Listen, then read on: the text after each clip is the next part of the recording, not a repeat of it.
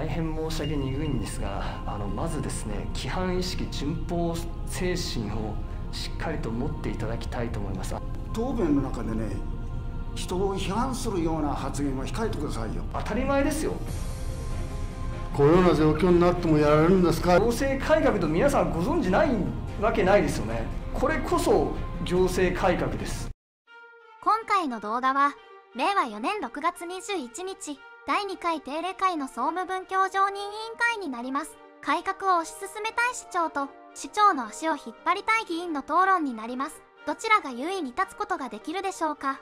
ぜひ最後までご覧ください。質疑はありませんか？南田委員今の山本和弘議員との質疑の中にもありましたが、えー、やはりあのこれまでまあ8時半に空いてて、えー、まあ7時45分に閉じていて、えー、その時間帯が、まあ、都合のいい方があの、まあ、この3月の資料の方にもありましたが、まあ、4%ちょっといらっしゃると、えー、そういった方々が、まあ、どうしてもやっぱその時間が都合がいいと、えー、他の、まあ、昼間の時間お仕事されてるということってあり得ると思うんですが前回もちょっと話が出たと思いますが予約による受付等の検討はされてますでしょう？予約による受付につきましては今現在では検討の方が進んでおりません。ただあのマイナンバー等の普及を行っていて、まあ、そのマイナンバーを利用し活用していただくということで考えて。今の答弁はマイナンバーを活用してコンビニ等で、えー、その証明書などを手に入れてほしいとそういう方針を示していらっしゃるという理解でよろしいでしょうか？その通りです。他に質疑はありませんか？新田委員前回の3月2日の資料の中の区分1、えー、9時までと区分5、17時からということの4.2%の4.2%に対す。る各庁ごとのこれはあの市長ではなく担当者、えーと、総務課長でいいかなと思うんですが人数を庁ごとで教えていただきたいと思います。それをまず一点。新谷新谷。時間帯ごとの支所ごとのということなんですけれども朝の時間帯、えーと、8時半から9時で言いますと八千代支所で40名程度緑所で30名程度高宮署で、えー、20名程度高田署で60名程度向原署で70名程度です。で17時以降の数字なんですけれども、えーと、八千代署で20名程度、えーと、緑署で10名程度。高宮支所は2名。で高田署が40名程度。向原署も40名。9月から12月の4か月間です。令和3年です。はい、ありがとうございます。またあの年代等々ももし分かれば、まあ、今後この11月スタートまでですね。スタートまだ3か月ありますのでその辺も今の現状等々も含めてまた情報提供いただきたいと思いますの。そこの考えがあるかまず伺います。今回のデータがですねシステムからあこの時間帯にこの種類の帳票が出た数ということで当たっておりますのでその属性については把握できておりません。以上です。ということはあのソフト回収で例えばどういった年代層だと思われる年代層が来られたっていうのを入力すればおそらくできるかなと思われるので、まあ、その辺は提案事項としておきます、えっと、もう一点1人が、えっと、職員お一人が年間約150時間残業されるということで前回の説明で、え聞いてたんですが今あの経費等と電気代も含めて経費も含めてあの実際どのくらい削減できるんかということで、え単とかで分かる範囲で結構ですから答弁答弁をも新谷概算なんですけれども朝の朝礼を、まあ、5分から、まあ、課のミーティング15分を単外に増してるという過程で計算をしましたら年間で約400万の時間外がま削減できるという概算の計算をしております。ただこれは最小の時間の設定ですので、え窓口をま所管する部署におきましては、ま15分のミーティングではスマートのミーティングを時間外でましているという、ま現状があるのではないかと考えております。よろしいですか？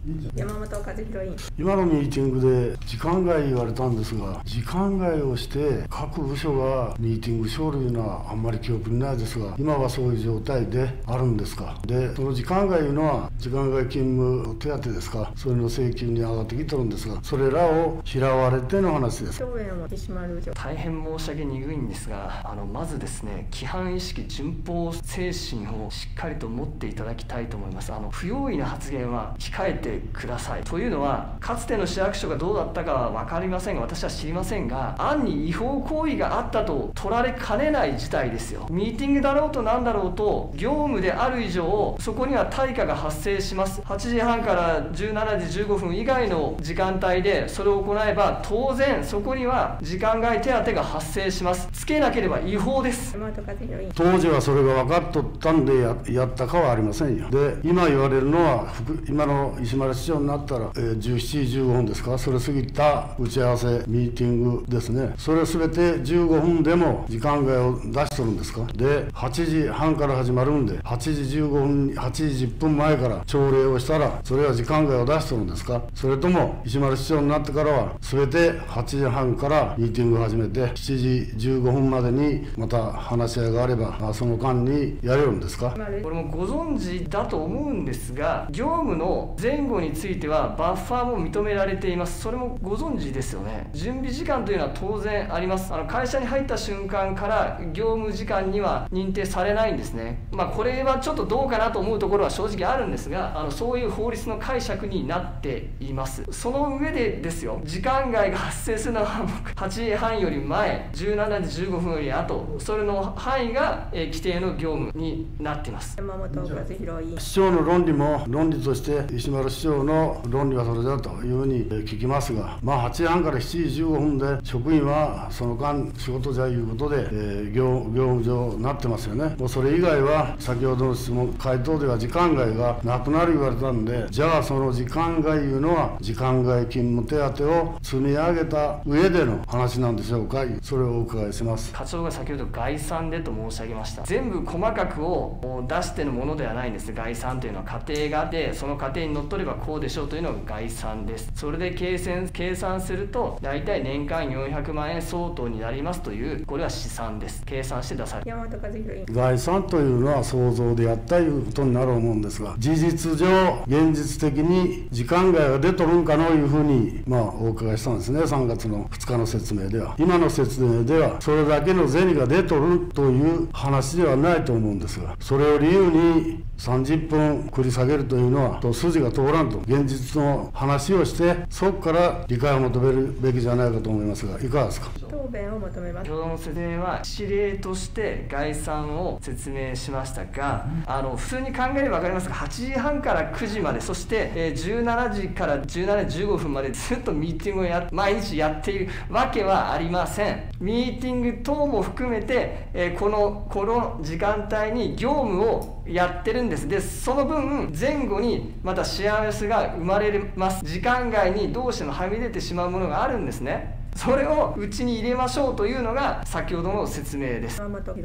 説明なら時間外のお金を言う必要はないと思います。そこら辺がちょっとこの30分後にずらす分の説明で時間外が浮くんですという話にはならんんですね。実際にあったある話と現実にそれだけのものが支払われとるいうことでしたらそうじゃのういうことも思いますけどこういうことも資産的にはありますという話で現実の話じゃない。理由にならん思いますけど市民が勘違いする理由になると思うんでそれは言われない方がいいと思いますがその辺はどうですか？答弁石丸市長はい、理由になると思いますし理解をしていただけると思って説明をしました。他に質疑はありませんか？先がこれまで決めていたことを変えればいうことは、まあ、かなりの、まあ先ほど総務長さんがおっしゃいました課題ですよね、こういう、まあ、今、課題はまだあ整理されてないと思います、まあ、ぜひともですねそういう課題をお示されて、市民に市は誰のもんかと先ほど山本和弘さんがおっしゃった、議員がおっしゃったけど、やはりその原点に立ってですね丁寧な説明をしていただきたいと思います、これからの説明ですね。それでここの3番の関係団体の調整というとこ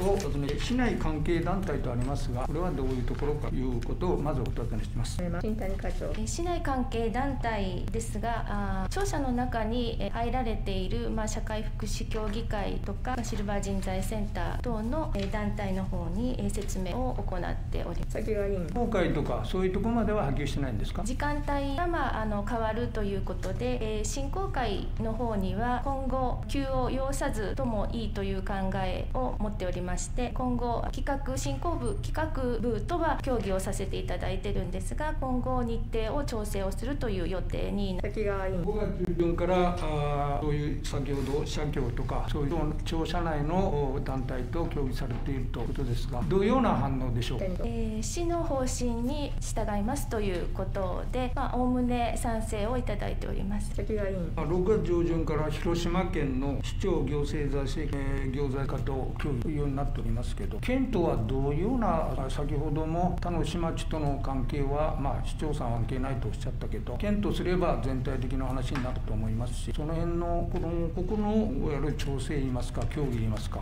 どういうようなことをされ私が直接行って議論をしえ説明をしてきましたが大変強く賛同をいただきました。横並びでいつまでいてはいつまでもいてはダメだ行政の改革を進めなければならないと。強い賛意を得ていそれならその私も確認取りますけれど間違いないんだと思いますけれど。やはり今までやっていた時間帯を変更するということは、まあ、県は県も先ほどおっしゃった調査内の人もまあ賛成だとおっしゃるけれど。やはり課題ね先ほど言いました課題。ここはやっぱり丁寧にえ説明していただきたいと思います。総務長さんどういうふうなその何ていうかな号を持ってまた議会の方に先ほど市長さんは執行権というようなことものことをおっしゃったんだと思います、まあ、調査権もありますのでね議会、まあ、その辺どうどういうふうに総務長さんはお考えなるかをお尋ね雪森えー現在まで、えーそれぞれ、まあ、先ほど県の話もありましたけど、今、関係団体等も含めて協議をさせていただいております。えー関係団体の方については、方法お了解、ご了解を、いわゆるちっちゃな課題っていうのはやっぱりあるんですね。で、その課題っていうのを、今、こう、事務局、担当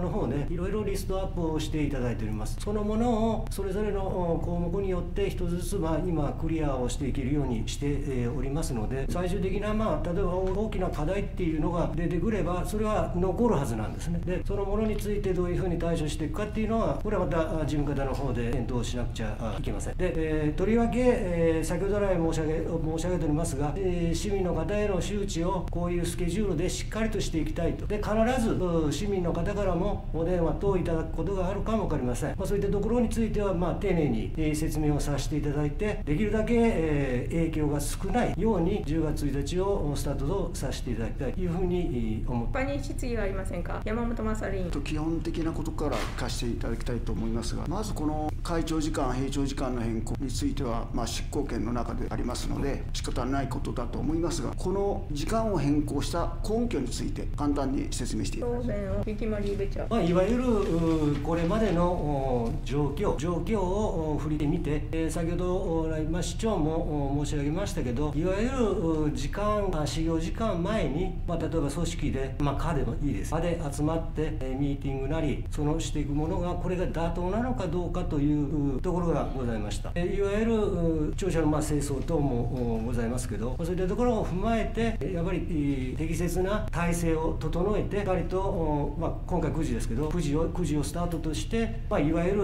う会員もお全員で、えー即座に対応できるというような、まあ、体制をしていった方がいいだろうというようなあー検討もさせていただいたというところでございます。勝る。8時半が9時になったんだけどそれ変わるわけないでしょ？変わるんですか？本来えー執務時間っていうのは、まあ、8時半か。らですから8時半からあー9時までの間で、えー、課のおミーティングなりえー諸準備等々も含めてやると。時間内にやるということで改めて9時をその全体の全職員ですね。それが同時にまあスタートしていこうということです。でいろんな先ほど先谷委員さんの方からもありましたがそのことによって課題っていうのは必ずあるんですね。あると思います。それは柔軟なま対応をしていかないといけんとも思いますし運用の中でまだ決められる分があるんだろう思うんですね。ですから今がっつりじゃあ9時を9時にするんよということでなくてその運用の中で柔軟に対応できる部分っていうのはある意味検討はできるんじゃないかと思って山本委員さんもあ和弘委員さんも例えばちょっと何曜日はちょっと延長してみよう。例えばですよ。月に何回やってみようとか。そういうのも検検討する一つの材料としてはあるということで。すそれを検討して最終的に10月の運用の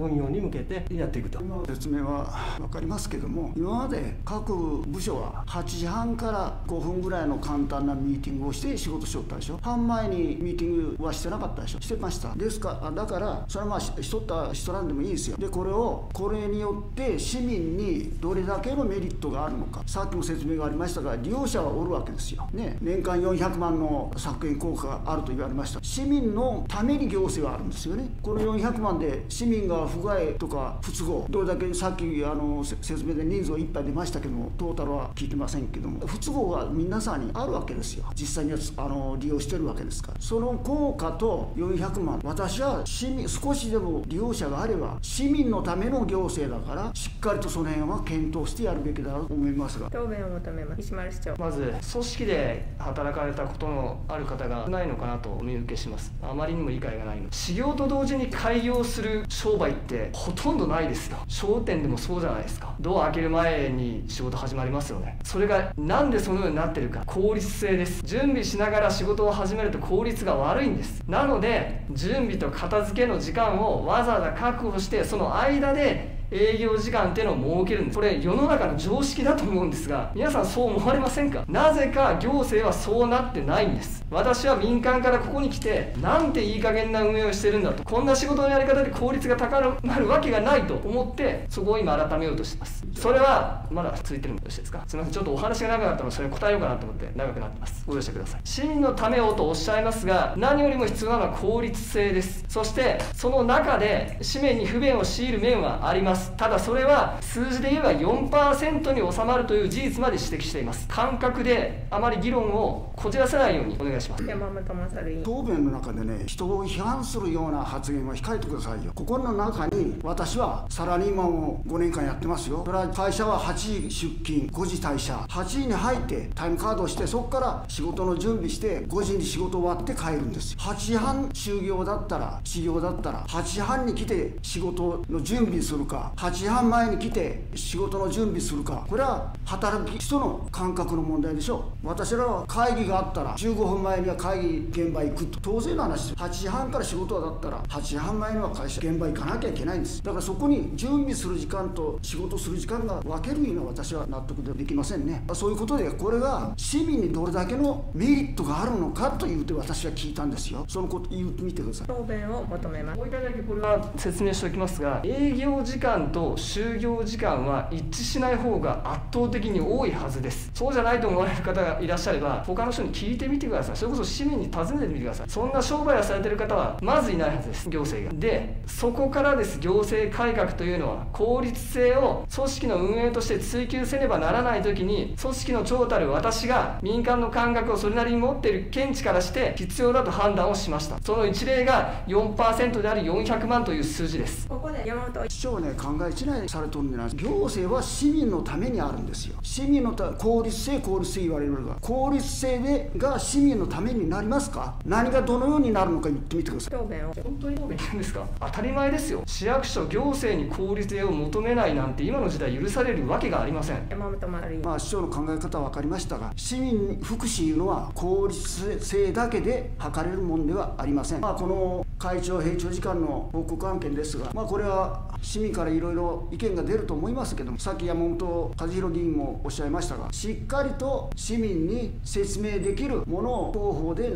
していただきたいということを言っておきます。以上です。ここで換気のため他に質疑ありますか？ではあのここで換気のため10時15分まで休憩といたします。休憩をとって会議を再開いたします。他に質疑ありませんか？山本勝委員えー私先ほどの市長に対する質問でした。これが市民にとって何がどのようにメリットがあるのかという問いをししたわけですがそれに対する答弁がなかったんでもう一度それに対する答弁をいただきたいと思います。答弁を求めます。石丸市長。はい、しっかりと明確に申し上げましたがもう一度繰り返します。組織の生産性向上組織の効率化。これは他ならぬ市民のためにこれまでもやってきたはずですし 今もやっていますしこれからもやっていきます。行政改革と皆さんご存知ないわけないですよね。これこそ行政改革無視してよろしいですか。で次に他に、えー質疑はありませんか、はい、あの先ほど私の質疑の中でですねあの予約の受付の考えはないかということで、えーご質問したところマイナンバーカードでコンビニなどでの証明書発行という回答をいただいたんですが確かにまあ市民部のあの証明書発行住民票とかですね、えーまあ、そういったものに関してはそういう対応はできるかと思うんですけれども他の部局で例えば、まあ、あの農業関係の申請書だったり、えーまあ、福祉関係の申込書とかですね相談だったりと、えーそういう時に、えどうしてもやっぱり窓口で、えその時間帯に対応をお願いしたいと。いうようなあリクエストっていうのはあると思います。そしてその数というのはこの資料の統計の中には入ってないはずなんですね。えでそこの対応ができるようにしといた方が事務方としても事務を進めていく上で便利がいいんじゃないかというふうに考えます。で会長時間、まあ、玄関を開けるのはまあ9時かもしれないんですけどもまああらかじめ予約いただいた方については裏から裏からがいいかどうか分かりませんが、まあ、あの相談に応じられる、えー受付ができるような体制を整えておくべきではないかなと思うんですがそのあたり改めてご検討いただけないかああの答弁をします。求めます。新谷。えー、と市の施策になりますので大件につきましては、まあ、検討していきたいと思います。で、えー、関係部局等の、まあ、協議の中に、まあ、上げていって、まあ、すぐに対応ということにはならないかもしれません。あの検討してまいりたいと思います。他に質疑はありませんか？山本和弘委員4月から住民への周知活動を、まあ、されるんですが、まあ、先ほど言ったように十分とは思いませんがどうしても10月1日からやらねえけんという考えなんですか？それともあまりにも数はどうか分かりませんけど納得できる反対の話があった場合には、まあ、納得といえば私はパートで勤めてますと。8時半が9時になったらそれでも8時にしてほしい思いったのがまた伸びると。休んでいかねえけん賃金が減る。こういうような状況になってもやられるんですか？というのがまあ切実な意見だろうと思いますが、まあ、そういう意見がそれに似たような意見が少な少ない数でもあった場合にどうしても10月1日に延長すると。言われるのかその話も含めて実施時期を延長するというような考えはないですか？1日という市の方針をこれまで何回も繰り返ししっかりとお伝えしてきた。その通りです。で数はとても大事です。アバウトな誰かが言ってたとかたくさんのではなくて具体的などれぐらいの意見があるからというそのような申し立てをしていただきたいと思います。でなければ市として行政として付き合いきれません。山本それ今市長が言われたあ意見というのは我々が聞く意見でを指したら指しておられたと思うんですがもうこうこの候補によって必ず市に困った話の申し出があると思うんですね市の方で申し入れがあった内容について考えさせられるような先ほど言った具体的な例を言いましたがそういった申し入れがあった場合一見じゃまあ無理じゃいうようなことになるかも分かりませんけど多数多数いうかあっちでもあるこっちでもありいう考えさせられるような意見があった場合に延長するお考えはないかいうことを聞いたんですね。我々のとこへの意見じゃなくて市の執行部の方にそういう意見が考えさせられるような意見ですよ。そういうような話があった場合にこれはちょっと考えなきゃのと10月1日をやるなちょっと延長して、まあ、市長の思いじゃ改革ですから、まあ、私もそんなにとは変な改革じゃとまあ思いませんけど市民の理解を得るというスタンスに立ってですね考えさせられるような意見があった時には延長してでもどうするかいうことはされるお考えがないかということを聞いたんです再度聞きます。家庭の話を一切するなとは申し上げません。その家庭想定もある程度は必要だから。ただむやみやたらにこんなのあるかもねという話をされてはキリがありません。それは言いがかりのそしりを免れないですよ。そうではなくて具体的に論拠を持って示して確かにこういう事実があるからどうなんだろうと。そのように問うべきです。質疑に対して答えるならばあまりにも根拠がない乏しいそのような前提に立っては方針を変えられません。変えた結果当然市民の反応もその後丁寧に受けていきます。その場合によってはまた今後の方針は当然検討します。他に質疑はありませんか？質疑なしと認めこれをもって質疑を終了し会長時間変更に伴う周知スケジュールについての報告を終了いたします。皆さんいかがでしたか？議員の的を得ていない発言がうざいと思った方はいいねを。討論の結果が気になる方はチャンネル登録をお願いします。今回行われている議論は行政改革の目的や手段に関する異なる視点が論点となっています。議員の主張は行政の効率性を求めることが市民の利益につながるかどうか疑問視しています。しかし行政改革は単なる効率性だけでなく市民サービスの質や税金の適切な運用組織の効率化も含めたものです。議員の主張は具体的な市民のニーズを理解している意見とは思えずあまりにも抽象的で行政の寛容性や市民のニーズを正確に把握しているか疑問視されるところがあります。それに議員の発言にはいくつかの点で疑問が生じます。議員は市民に対するサービス提供の効率性に疑問視していますがその根拠や具体的なデータが不足しています。信頼性を持つためには具体的な数字や事例を示す必要があります。議員が言っている400万円削減のために市民が不都合が起きるという主張も具体的な根拠や説明がないため主観的な意見と受け止められません。また市長に対して効率化が市民にどれだけのメリットがあるのかと求めているが具体的な提案や代替案が示されていない議員が言っている市民の立場や恩恵についての理解が不透明であり、それが明確になっていない限り、議員の主張は説得力を持ちません。また、市民の感覚や仕事の進め方に対する意見を述べていますが、これも個人的な主観的な意見であり、具体的な事例やデータを伴っていません。多様であり、それに基づいた一般的な主張は当然に必要です。総じて、議員の発言は主観的であり、根拠や具体性が不足していると感じます。そして主張がより説得力を持つためには、具体的なデータや根拠を示し、建設的なもの提案を行う必要があります。